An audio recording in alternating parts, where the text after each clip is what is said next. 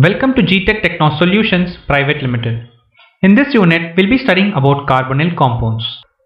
In aldehydes, the carbonyl group is bonded to a carbon and hydrogen, while in ketones, it is bonded to two carbons.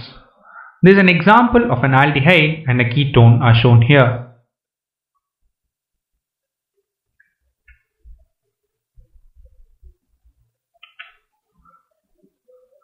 The carbonyl compounds in which the carbonyl group is bonded to oxygen are known as carboxylic acids and their derivatives.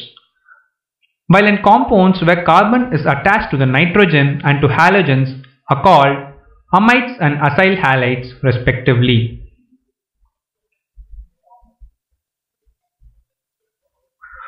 The general formulas of these classes of compounds are given below.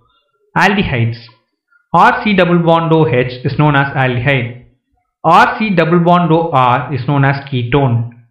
Whereas instead of this alkyl group, we, if we have an OH group, it is known as carboxylic acid. Instead of the substituent, if we have an halogen, it is known as acyl halide.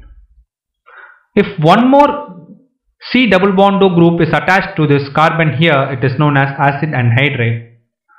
If an OR dash group is present, it is known as ester and if NH2 is present it is known as amide.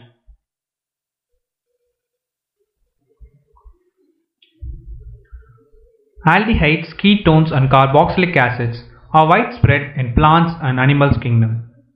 They play an import, important role in biochemical processes of life. They add fragrance and flavor to nature.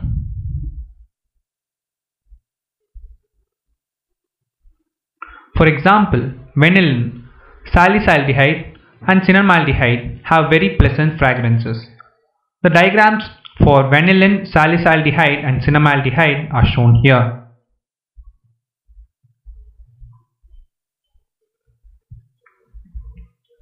Aldehydes, ketones and carboxylic acids. They are used in many food products and pharmaceuticals to add flavors.